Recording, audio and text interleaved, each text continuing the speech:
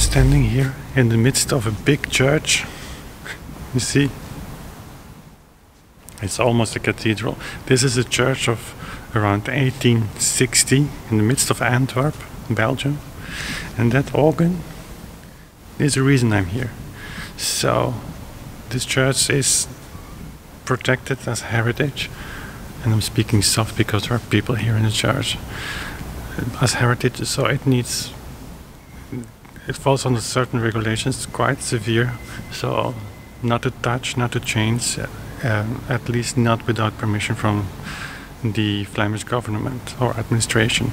And I'm working here for an architect to make kind of preliminary inventory of this instrument, which is an interesting organ from Anneessens 1880 about, and so can have a quite symphonic sound. So perfect for the music for César Franck, Charles-Marie Widor. I was upstairs on the balcony, on the gallery, but it's pitch dark there, so I made some pictures for the of the instrument I can show you. And so this is part of my professional life, our business, so to say, is basically around these kinds of projects. This is a very small project, though. Uh, the church is now, maybe I say that, uh, sold to the Russian Orthodox community who well has their activities here. It's a complete community inside Antwerp. We're in the midst of Antwerp here. Um, and so yeah there is a kind of yeah there's a new evolution. A church in Belgium traditionally 100% Catholic is under a lot of pressure to change and to think about what to do with all these buildings because there are not so many people anymore. I don't know the percentages, but it's way less than 50% who call themselves real Catholic with a need to go every Sunday to the services. And so we have a lot of these buildings here, which this is a beautiful building. Like the windows are were taken out for restoration, so it has a little bit of a different feel, and obviously the building really needs restoration.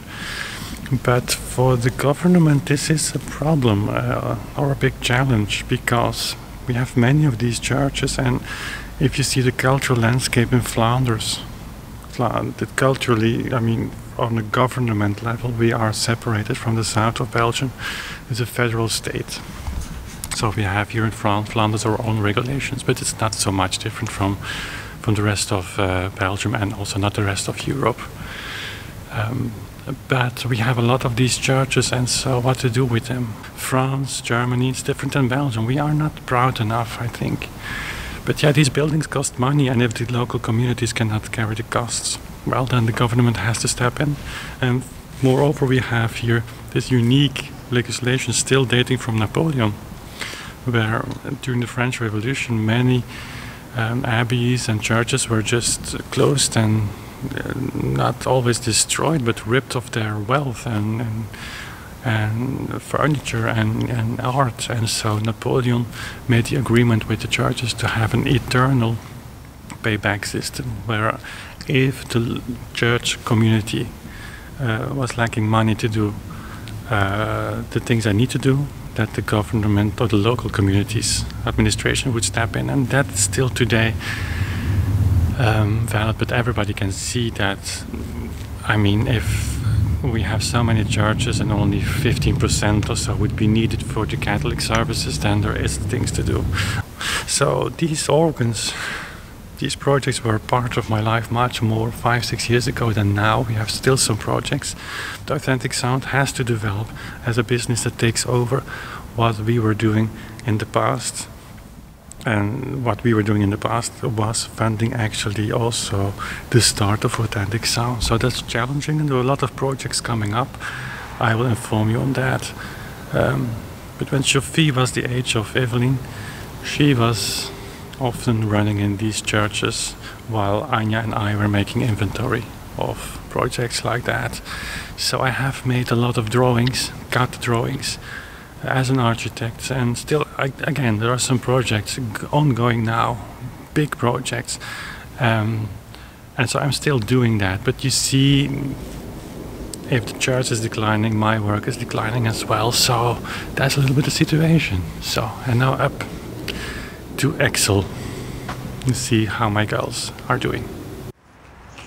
So, just coming outside this church, I can show you a little bit how the building looks. You see, it's a really, it's actually a big church. It's almost a cathedral. And many of these buildings were built in the second half of the 19th century where there was a population growth maybe thanks to the industrialization maybe I don't know you see it's quite large and interestingly they built all these churches according to the to a kind of Gothic or Roman style so neo-Gothic or neo-Roman I think they chose for a neo-Roman style here because of the money. So very expensive to build a Gothic church, I would say. So that's the front of the church. Let's see if I can make a picture here for thumbnail. Would been cool. So vlogging in the center of Antwerp is something new for me. Uh, but yeah, I have 10 minutes to walk, so that's Antwerp Central Station on the back and see Beethoven 5th.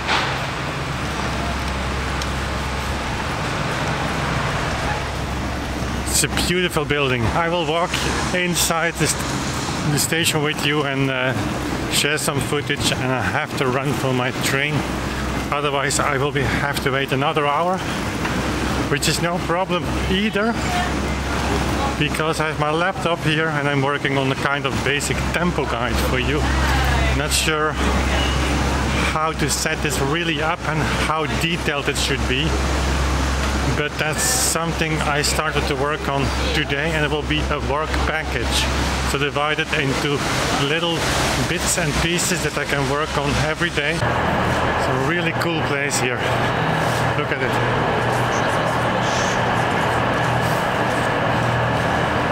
my train would be on track 3.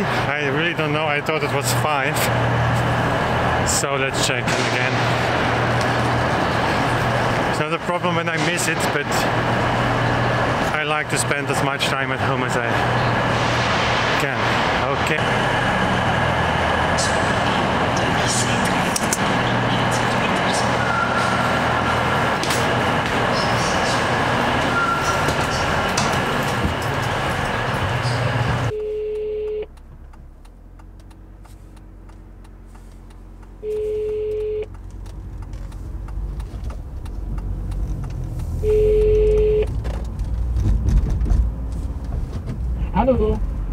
Schat. Hey. Dat was juist op tijd. Ja, ik was... Uh, Sophie was iets, die ligt in de zetel en die was iets aan het roepen en nu was ik met, een, met, uh, met het gsm nog natuurlijk aan mijn bureau. Vandaar. Ik ben terug in de auto. Aha. Dat is rap, hè? Ja. Ik heb dat zo mistig als ik vertrok en het is nu zo. It's one of the things we always do. when we return home from an appointment somewhere, we text each other or we call each other here in the car. It's hands free, so it's not so difficult. It's very easy.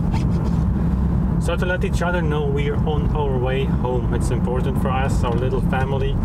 I think you can you have seen that sometimes on the videos we don't share too much of our personal stuff, but um, family life is important for us. It's, it's a priority, it's the number one. Taking care of each other and knowing there is a place to go to where people are taking care of you.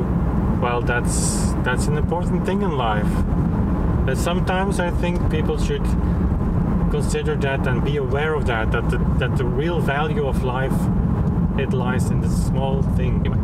Hope you like this vlog and let me know in the comments what your reactions and your thoughts are always interesting for me to read. So in the meantime, thank you for watching. See you soon again. Bye.